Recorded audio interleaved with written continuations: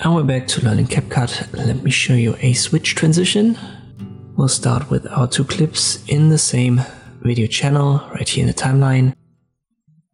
The way you get a typical jump cut. Make sure to set the ratio to 16 by 9, for example, for YouTube videos, or whatever you need as a format. And then go to transitions. On a drop down, we'll go to the slide category.